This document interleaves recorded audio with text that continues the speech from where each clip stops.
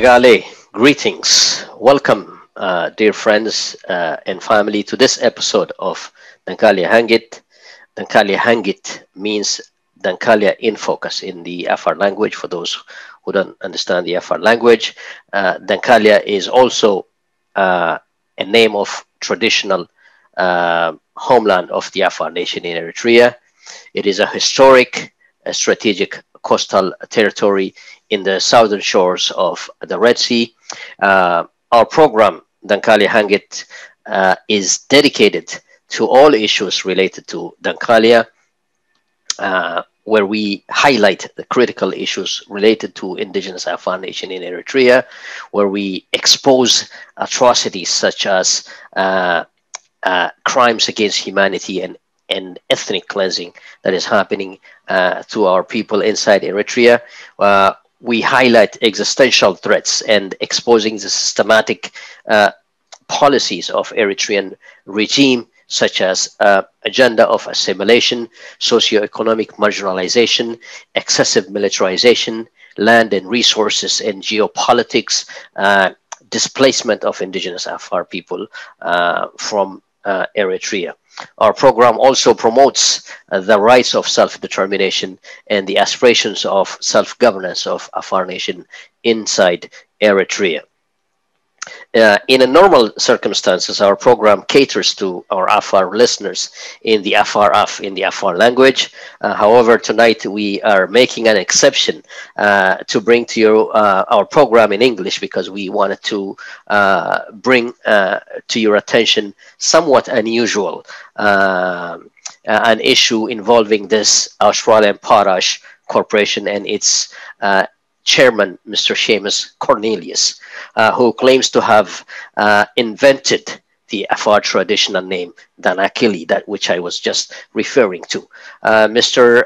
Seamus Cornelius, the executive uh, chairman of uh, this Potash Corporation, uh, was giving an interview to Financial News Network where he claims to have invented the name Danakali, an Afar indigenous name uh, that have been in use since the time of Moses, since the time of biblical times, in fact.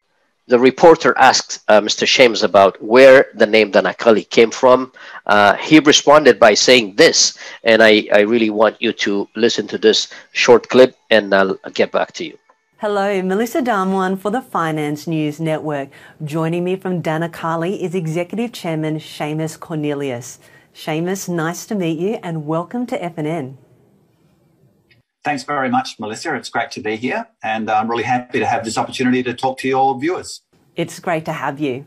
First up, can you start off with an introduction to the company? Danakali is a public company listed on the ASX and on the LSE, uh, and we're developing the Colluli sulfate of potash project in Eritrea in a joint venture with the Eritrea National Mining Corporation. By the way, where does the name Danakali come from? So the asset, Colluli, is in the Danakil Basin, which is the D-A-N-A part, the Dana. And then Kali is salt. So we just put the two together, Danakali. Say what? Are you kidding me, Mr. Seamus? Is the D-A-N-A part, the Dana. And then Kali is salt. So we just put the two together, Danakali. Say what?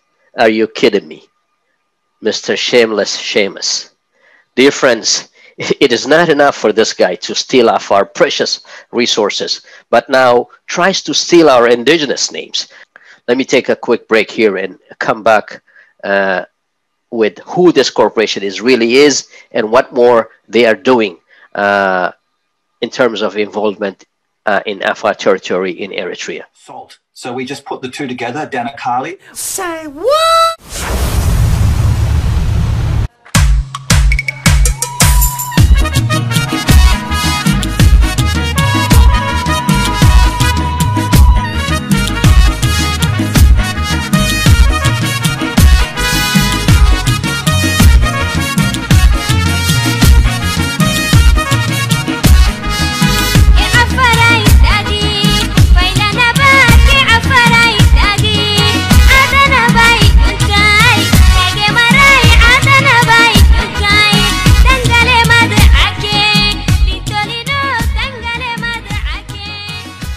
Welcome back, dear friends. Uh, just to give you a background about this Potash Mining Corporation, this uh, Potash Corporation arrived in uh, Afar territory in Eritrea in uh, 2015. In fact, the corporation was then uh, known by its Australian name, South Boulder Mines Limited, uh, and after signing uh, agreement with the Eritrea, it changed its name to present name, which is Danakali Limited, a local Afar traditional name the corporation signed uh, a joint venture, a 50 50% secretive deal with the uh, Eritrean uh, corporation ENAMCO, the Eritrean National Mining Corporation. Uh, everyone knows in Eritrea uh, that this ENAMCO is in fact a camouflage, uh, a fraudulent entity owned by the president, Afwerki himself and his military generals. Uh, no one knows its uh, previous dealings uh, that involved uh, uh, Bisha gold in the, in the uh, Kunama territory, essentially destroyed the livelihood of our Kunama people in uh, that territory in, in the past, making hundreds of millions of dollars for Afwerki and his uh, generals. Eritrean people got nothing out of that gold mine project. So this potash uh, mine in Dankale is estimated to generate about $2 billion annually. It's a massive potash project. Uh, this Afar territory where potash was discovered is a vast, vast territory stretching over 400 square kilometers square. This is about the size of uh, the city of Montreal, for example, or the city of Detroit, uh, the entire city of Detroit. Uh, historically, uh, the Afar have lived on this uh, vast territory as pastoralist, nomadic indigenous people, uh, where they have raised their animals, they travel across the border for trades and have sustained their themselves economically using this vast territory since the ancient times. Uh, I want to get back to this absurd claim made by Executive Chairman Mr. Seamus Cornelius a little bit later. But I want to speak about the origin of the name Danakali or Dankalia, uh, a traditional uh, name uh, that Mr. Seamus Cornelius uh, is claiming to have invented. Uh, first of all, the name Dankalia is uh, has been in this uh, Afar territory since biblical time, like I mentioned. Uh, the name Dankalia is is actually driven from indigenous Afar tribe name called uh, Dankali tribe. It is a very common in Africa or elsewhere if you go uh, for the state or for the region uh, to acquire uh, their indigenous name or as a state name or as a regional name. Uh, so in a similar way, uh, the name of the state of Uganda, for example, was driven from the kingdom of uh, Buganda people. according to our oral tradition and our indigenous Afar storytellers, the name Dankalia first appeared during the medieval time in the, region when the Afar sultanates of Ankali and the Afar tribe of Danakil, uh, Dankali uh, ruled over uh, much of the Red Sea uh, coastal territories known as Eritrea today. Uh, both, in fact, both of these Afar tribes are, uh, in fact, still exist uh, with us in Dankalia in Eritrea today when uh, European colonialism first arrived in Dankalia in 1869, uh, before conquering uh, the, the, Eritrea as a whole, the Italian colonialists established a colonial post in Assab uh, and um, called it La Colonia Italiana di Assab in Dankalia. So uh, they also have acknowledged the name Dankalia as its seen in this 1869 picture as you can see, uh, the name Dankalia is written across the territory. The Italians even documented the original Afar territory in Dankalia having its uh, geographical borders, uh, starting from uh, tip of Massawa, bordering uh, Buri Peninsula and the islands of Dahlak, all the way to islands of Ras Dumaira bordering Djibouti uh, on the southern uh, Red Sea. Uh, perhaps we can uh, do a program uh, on another occasion on how the Afar anti-colonialist struggle between the indigenous Afar in, in the uh, Italian colonialists during 1869 on, on a later date. Uh, on uh, my point is, brothers and sisters, uh, the name Danakali or Dankalia is is uncontested, uh, irrefutable historic indigenous Afar name. And the territory itself, Dankalia, is indisputable Afar traditional homeland, regardless of uh, who is in control today. Mr. Seamus, your corporation owes the Afar people an apology uh, for the cultural appropriation, the butchery of the Afar indigenous names, as well as its historic uh, identity. Your claim of inventing the name Danakali is, in fact, insult to indigenous Afar people uh, and indigenous people uh, elsewhere in the world. Uh, now, let's examine what Mr. Seamus Potash uh, Corporation is doing uh, that is even more serious, uh, such as being an accessory to ethnic cleansing and removing of the Afar from Eritrea. What Mr. Seamus failed to tell us is that his corporation's involvement in Eritrea has atrocious side, specifically the violent removal of the Afar pastoralists from their traditional lands and the illegal appropriations of indigenous resources and land grab made possible by a joint venture deal he signed with the Eritrean regime. So, Mr. Seamus, what we, the Afar Nation, would like to bring to your attention, uh, sir, is that after, after you signed the Potash agreement with your Eritrean counterpart corporation, the Eritrean regime has deployed thousands of soldiers in on, on the Afar territory to make way for your project. To, to protect your company, the Eritrean regime has told the Afar locals by way of intimidation and threats to vacate their homes and properties. Uh, they were told uh, they no longer have any claim to these lands uh, because the Eritrean state now owns uh, those lands. The soldiers then cleared the Afar families uh, cut down indigenous trees, homes, uh, disrupting the Afar lives, uh, their way of life. Uh, they built roads to Parash, uh, to Parash site, essentially engaging in forcible displacement of the Afar population the presence of your company has severely curtailed the free movement of the Afar population uh, in the region and severely impeded their, their way of life and economic means. As a result of the Eritrean government's policies of ethnic persecution, tens of thousands of the Afar people have been displaced and made refugees throughout the region. Uh, the Afar people have made numerous uh, complaints to international human rights mechanism and they were successful in getting uh, the condemnation against the eritrean government the united nations officials determined that Eritrean regime is in in act, Eritrean regime's action and uh, um, ethnic persecution of the Afar were intentional and that aimed to removing the Afar population from Dankalia. Uh, the UN uh, Special Rapporteur for Human Rights uh, mentioned your company involvement in the Afar authorities, especially the Colluli Potash mine, uh, in its human rights report in, two, uh, in 2020. Uh, furthermore, the UN agency called for the perpetrators of the crimes against Afar to be held accountable that the rights of the Afar communities need to be restored. Uh, so the UN is pretty much aware of your activities, especially your Colluli Potash project that you uh, obviously uh, boastingly talk about and how successful it is. Uh, so these are serious crimes which uh, uh, serious with a serious ramification, for your corporation. Uh, I want uh, to stop uh, in this picture and show you what this is really, brothers and sisters.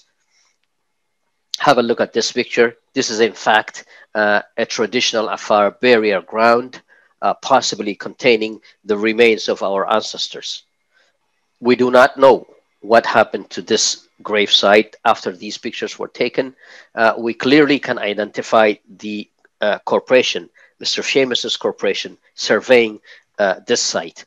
Uh, you can you can be rest assured uh, they are not there to pay their respect for our dead. I think what happened uh, to this barrier site is obvious. Uh, the graves is probably being cleared to make way for your corporation uh, to dig potash in this territory.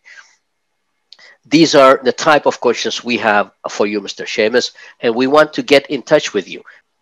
We understand the Eritrean regime told you this is a no man's land. Uh, there is no one lives there. But but again, how come people died there? How come there's graves there? Is there anyone who was living there uh, before you came? Again, I want to show you this picture here. Uh, this here is a picture of potash resources being dug from traditional Afar uh, potash reserves, uh, spanning an area, like I told you, about 400 square kilometer uh, uh, square kilometers of uh, traditional Afar land and territory. Mr. Seamus, according to your interview, uh, the corporation is planning on, on staying in the Afar territory for the length of the potash mine's life, which is about 200 years. Uh, where is your corporate responsibility? Does your uh, business plan anticipate your company's ability to survive without the protection of the Eritrean military? Uh, do you ever consider, Mr. Seamus, that the political change uh, in this country can happen overnight? In case you did not know, the current tyrant Isaias Afwerki is 75 years old. He's about to drop dead anytime soon. The country is a, a pariah state. Its human rights record is one of the worst in the world. Uh, the conflict uh, around Eritrea is raging as we speak. Uh, some something major is about to happen soon in Eritrea uh, because the state is unstable. It's ruled by a military junta, and its time uh, is going to end very soon. Uh, in another thing in your interview, you, you took a pleasure uh, of uh, mentioning how hot this area where your potash is, how stable, uh, how suitable it is for uh, solar energy. But what you intentionally and consciously left out is, our, is the reference of to the Afar people in this region it is just insulting on so many levels to hear you say your corporation have a superior uh, social and environmental impact on the community when you are in fact know it, your corporation's activity is enabling the ethnic cleansing of our uh, very uh, same community you are responsible for displacing. As long as the colonial attitude reflected in your business model remains, your corporation's actions on the ground continues, you will be faced with so many challenges, including persecution for ethnic cleansing of the Afar population. My friends, as indigenous people, as people which have been systematically marginalized and forced into endless poverty, not only by the current repressive government of Eritrea, but uh, historically marginalized people. We, the Afar people, deserve better. We need to control our resources, our future growth in our uh, in our territory. Uh, as long as general uh, ethic uh, of doing business or economic development in our region are concerned, uh, the Afar nation, in principle, is not opposed to a fair and equitable and socially responsible economic agenda. But what we oppose is a colonization of Afar people, the illegal appropriation of Afar lands, resources, displacement, and, and uh, uh, being uh, expelled from our ancestral homeland. Mr. Seamus, the Eritrean government is ethnic cleansing the indigenous Afar people. Your corporation is financially enabling uh, for these atrocious uh, atrocities to continue against our Afar people. Uh, brothers and sisters, uh, that concludes our program today. As Indigenous people, we count on your solidarity to keep fighting against oppression and systematic discrimination and injustice. Like Martin Luther King said, injustice anywhere is a threat to justice everywhere. We have no doubt with your support, we will reclaim back our indigenous rights, our dignity, our ancestral land and resources. We hope to see you again as we discuss critical issues like this in relation to Dankalia and Afar people. Uh, in our next program, perhaps we can bring to you the issues of a port of Assab and the return of Ethiopia uh, in Afar territory in Dankalia, the threat of expansionist Amhara, the threat of far right uh, Tigrinya extremist groups like the Agazian movement, the rights to return uh, for the Afar refugees, um, and uh, another most recent development in, in regards to Ras Dumera, uh, where uh, claims have been circling around that Ethiopian Navy uh, perhaps uh, will be uh, stationed there, and other issues that are of concern for Eritrea's sovereignty and integrity of Eritrea. until we meet again, friends, thank you so much for your solidarity. Thank you for listening. Nagai Kasoa.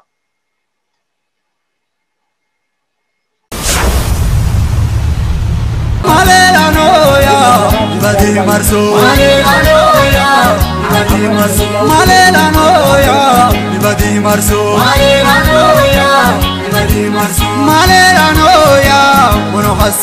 فردال النيا مدي مرسو مالي لانويا مدي بدل السكت تاريخ للنيا مدي مرسو مالي لانويا مدي مرسو مالي لانويا కదులెల్లేయా ఇవదే మరసు.